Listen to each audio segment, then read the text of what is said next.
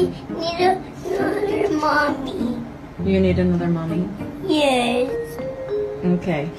Who do you want as your mommy? What did you say?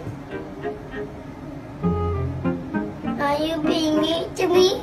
No. No. Are you happy? Yeah. I need another mommy. You need another mommy? Yes. Okay. Who do you want as your mommy? Um, Auntie Jen. Okay. I'll tell her. Okay, mommy. But you can't call me mommy anymore. you can't call me mama. What's your name? Michelle. Michelle?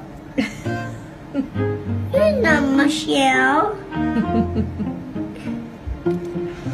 Are you ready to go now? Yeah, Mom. Okay.